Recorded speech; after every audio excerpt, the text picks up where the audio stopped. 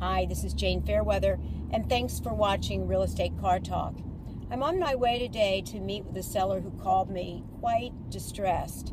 He had been on the market for 310 days, almost all of 2013. He had listed with three different agents at three different intervals and uh, has not even gotten an offer on his house.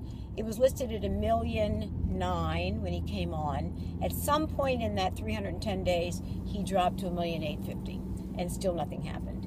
So I, uh, in preparation for this appointment, I looked to see in that 310 days if other houses had sold in that price category while he was on the market. And that price category to me in our market is anything from 1650 to 1850 because those are the newer built homes and he was a home that was built about 5 years ago.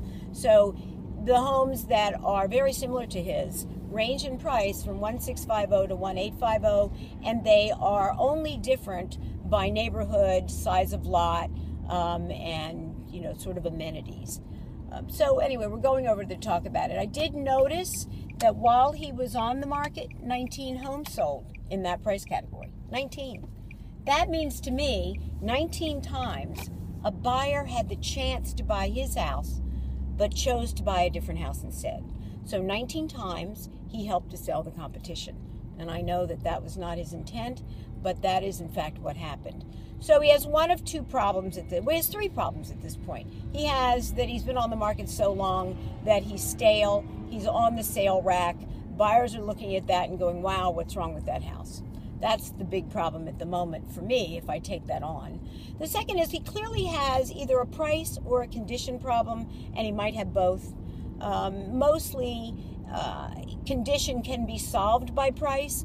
So if he has a condition problem, for example, you know, he's got pink walls or he has, um, you know, black floors or something that's odd that, that buyers aren't used to seeing, or his condition is just poor. It shows poorly, it's sloppy, whatever it is.